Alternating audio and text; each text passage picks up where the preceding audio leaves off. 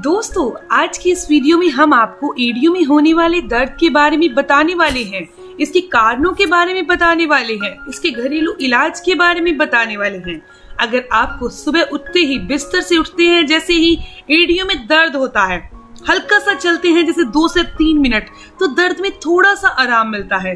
लेकिन ये दो से तीन मिनट में बहुत ज़्यादा एडियो में खिंचाव महसूस होता है, चुभन महसूस होती है। चलने फिरने में बहुत मुश्किल तकलीफ़ महसूस होती है। तो ऐसे में आपके मन में एक सवाल आता होगा कि अचानक इस दर्द के उठने का कारण क्या है? सबसे पहले आपको इसके पीछे के कारण बताने वाली हूँ, ताकि इसका इलाज बहुत अच्छे से किया जा सके। दोस्तों, आयुर्वेद के अनुसार हमारे शरीर में वात यानी वायु बढ़ने के कारण एडियो में दर्द, सूजन की समस्या, वात बढ़ने पर एडियो में दर्द होता है। पित्त बढ़ने पर एडियो के अंदर गर्माहट और जलन महसूस होती है।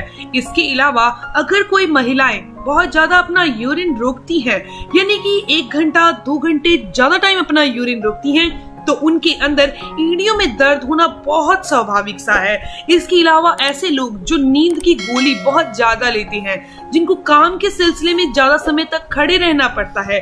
इसके अलावा वज़न बहुत बड़ा हुआ है, मोटापा है तो ये बहुत बड़ी वजह है। इसके साथ ही साथ शरीर में पोषक तत्वों की कमी डायबिटीज़ मोटापा हार्मोन से संबंधित दवाइयाँ लेना, इन सभी के कारण भी ये दर्द उठ जाता है, यानी कि ये दर्द होता है। वहीं दोस्तों, युवाओं में इसकी समस्या का सबसे अधिक कारण है यूरिक एसिड का बढ़ना। कि शरीर में यूरिक एसिड आमतौर पर उस स्थिति में बढ़ता है जब हम प्रोटीन डाइट का सेवन बहुत ज़्यादा मात्रा में करते हैं। या किसी भी कारण से हमारा लीवर प्रोटीन को डाइजेस्ट नहीं कर पाता। जब आपका डाइजेस्ट सिस्टम सही से काम नहीं करता तो बॉडी में एसिड बढ़ने लगता है। वहीं एसिड ब्लड में चला जाता है। जब ब्लड में एसिड धीरे धीरे बढ़ने लगता है तो ये यूरिक एसिड का रूप धारण कर लेता है। लेकिन ज़रूरी नहीं है कि आपको यूरिक एसिड की प्रॉब्लम हो। अगर आपको एडियो में दर्द हो रहा है तो ये शुरुआती लक्षण हो सकते हैं। तो इसीलिए आपको शुरुआती तौर पर ही इसका इलाज कर लेना चाहिए। अगर आप अभी इसका इलाज नहीं करोगे तो ये धीरे धीरे समस्या बढ़कर अर्थराइटिस, गठिया, गाउट का रूप ले लेती है। तो चलिए अब मैं आपको बताती हूँ कि ऐसा कौन सा इलाज है जो इसके लिए बहुत सटीक है। एडियो में दर्द होने पर ऐसे आहार का सेवन नहीं करना चाहिए, जिससे सूजन होने का खतरा हो, जैसे कि आपको चाय, कॉफ़ी नहीं पीनी। यहाँ पर हम दूध वाली चाय और दूध वाली कॉफ़ी की बात कर रहे हैं। आप ग्रीन टी, ब्लैक टी पी सकते हो, लेकिन सुबह सुबह खाली पेट जो लोग दूध वाली चाय पीते हैं, कॉफ़ी पीते हैं, चीनी डालकर पीते हैं, उनके शरीर में एसिड की मात्रा बढ़ती है और धीरे धीरे एसिड जो है, वो खून में चला जाता है, जोड़ों में जमा होने लगता है, क्रिस्टल का रूप ले लेता है। और दोस्तों, यही धीरे धीरे गठिया अर्थराइटिस का रूप ले लेता है। इसके अलावा खट्टी चीज़ें आपको नहीं खानी, अचार नहीं खाना, चीनी का इस्तेमाल बहुत ज़्यादा मात्रा में नहीं करना, ज़्यादा मात्रा में चीनी का इस्तेमाल करने से शरीर में एसिड बढ़ता है। इसके साथ ही दोस्तों, अगर आपको एडियो में दर्द है, काफ़ी समय से है, यानी कि आप साल डेढ़ साल से इसी समस्या से परेशान हैं तो आप एक बार यूरिक एसिड की जाँच ज़रूर करवा लें। अगर बॉडी में यूरिक एसिड बढ़ा हुआ है तो प्रोटीन आपको कम से कम लेना है। हाई प्रोटीन फ़ूड नहीं खाना। इसके अलावा ऑयली फ़ूड भी बिल्कुल आपने खाना बंद कर देना है। तली भुनी चीज़ें बिल्कुल नहीं खानी। अवॉइड करनी है।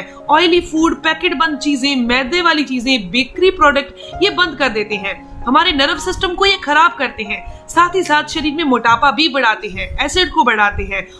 इन चीज़ों का तो आपको परहेज करना है। आपको क्या खाना है जरा उनके बारे में भी जान लें। इसके साथ मैं आपको बताने वाली हूँ घरेलू उपाय के बारे में, जिसका इस्तेमाल आपको लगातार करना है। तो आप अपनी डाइट में बीट रूट शामिल करें, यानी चुकंदर शामिल करें। गाजर खाइए, लौकी खाइए सुबह सुबह खाली पेट खाने की आदत डाल लीजिए। अभी बारिश का मौसम शुरू हो चुका है तो आप गुड़ और तिल खाइए। इसके बहुत फ़ायदे मिलेंगे।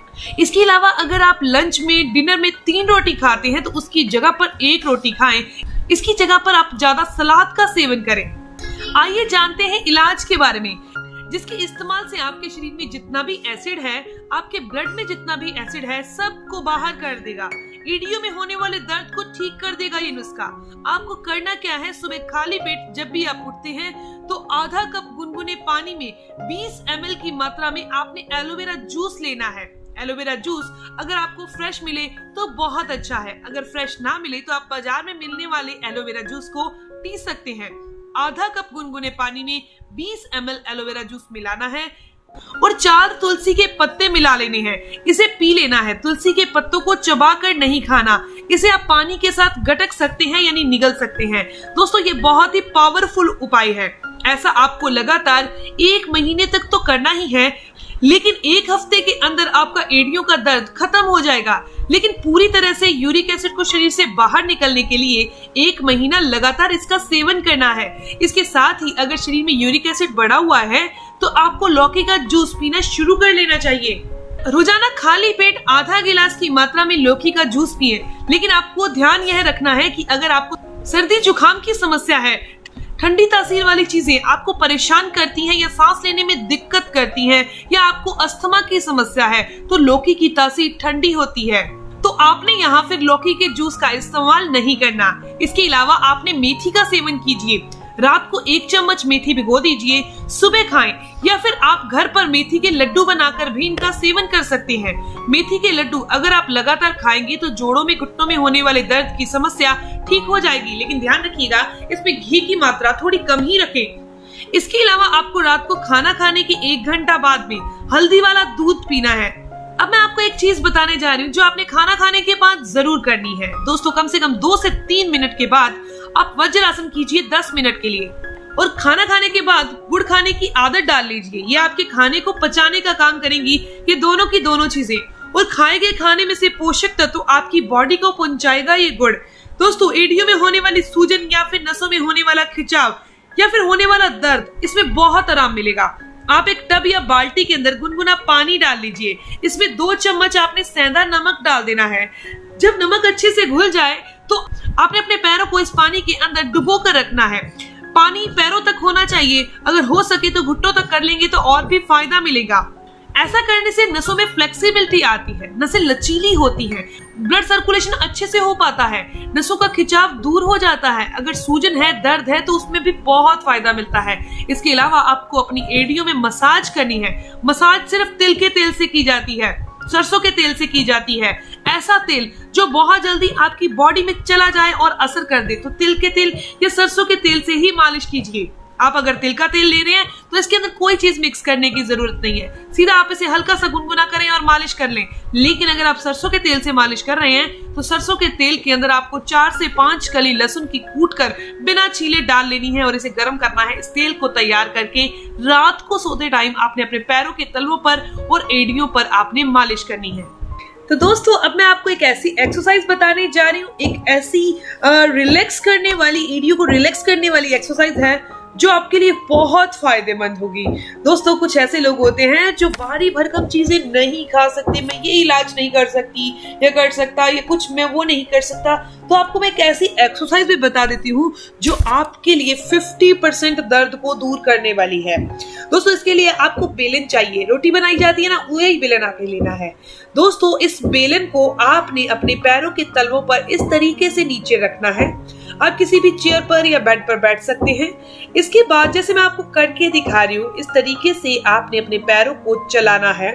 दोस्तों, ऐसा करने से एड़ियों के नीचे होने वाला दर्द या पैरों के तलवों में जो दर्द होता है, वो ठीक हो जाता है। ध्यान रखिएगा, एड़ियों तक आपने बेलन को पहुंचाना है। प्रेस करते हुए आपने इसे, जैसे रोटी बेलते हैं, उस तरीके से करना है।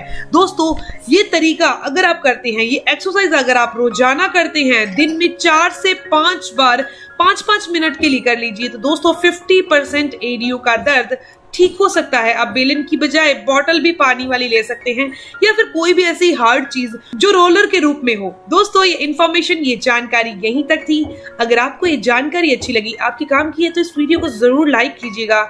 अपने दोस्तों तक ज़रूर शेयर कीजिएगा। दोस्तों, अगर आपके कोई भी सवाल है तो ज़रूर पूछिए।